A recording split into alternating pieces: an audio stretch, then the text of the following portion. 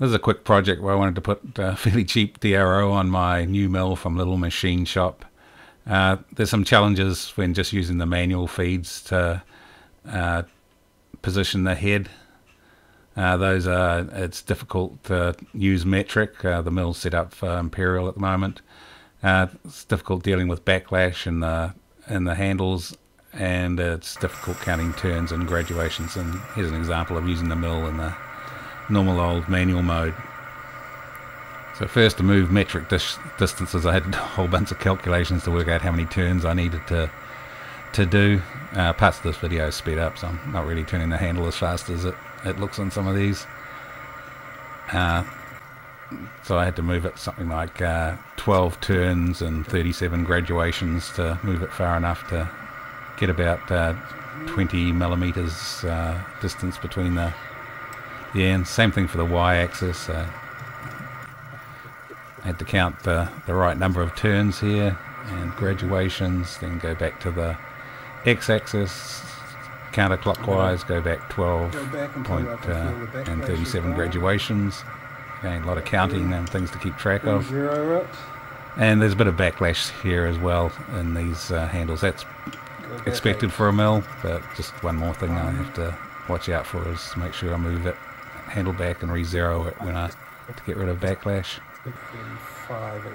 And then the final Y cut is to go back, again. There's something like 12 turns, 37 graduations to go back. So I had to get all these counts right, get rid of the backlash. And you can see here from the the results, I must have missed one of the the turns because uh, it doesn't line up, and it's kind of I got lucky as about 20 uh, millimeters, but uh, I wouldn't want to measure that too exactly. Uh, more luck than good management got me there.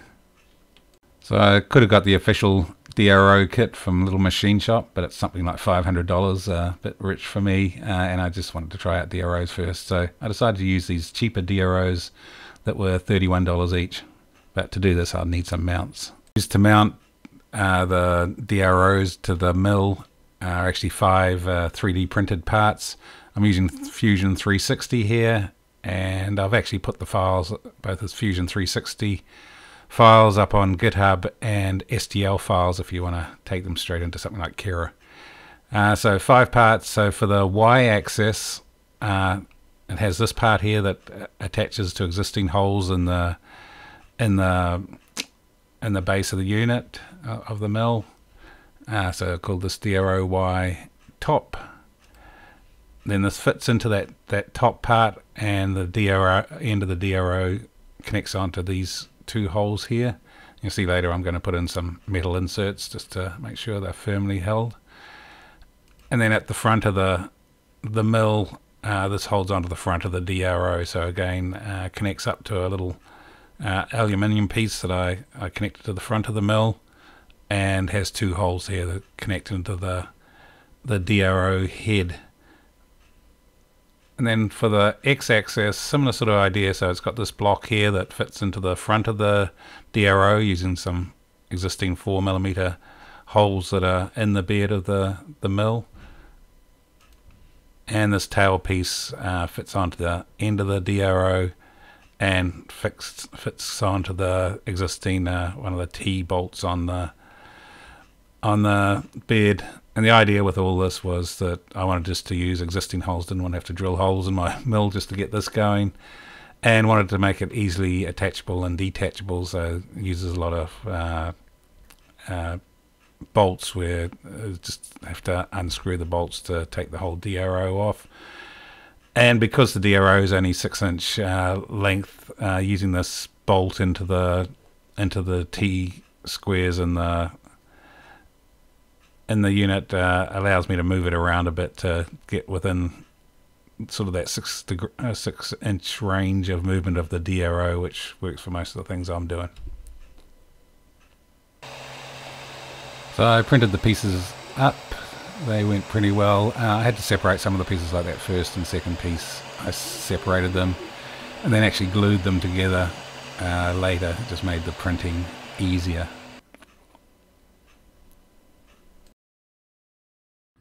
Then where I was screwing the pieces together, I put in these uh, brass inserts. It just makes the screws firmer. And again, with DROs, you really don't want things moving around. Uh, so I used a press with a soldering iron uh, to get them in and make sure that they're 90 degrees to the piece. This shows how the components get mounted for the x-axis. So the block goes in, there's two existing 4mm screw holes in the base of the mill here that it can go into. And a DRO can attach to the top of that. And I have a bolt-on connection to the actual uh, mill bed.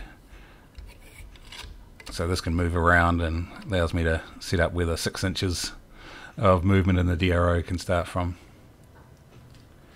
And then on the Y direction, the piece I glued together uh, goes down one end of the DRO.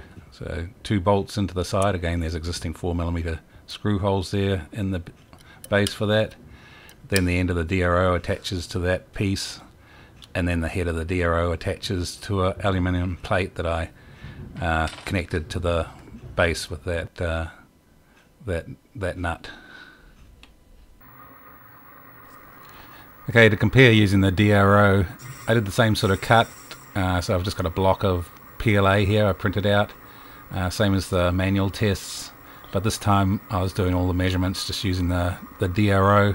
Uh, so other than having to subtract the size of the the milling head, uh, the calculation was pretty easy. I was just looking at the, how many millimeters I needed to move on the DROs.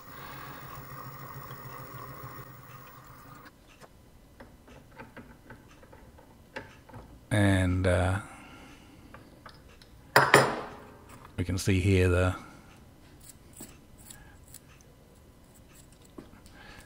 the second test block and then compared to the first one uh, I'm a lot happier with the second one a lot easier to do too. Uh, so it ended up being 20 millimeters on each uh, each side. And uh, you can see the first one there. It's a bit rougher because I went too deep but uh, you can see the the sizing of the of the square I cut was a lot better with the second cut, so I'm I'm happy with the my sixty dollar DROs at the moment.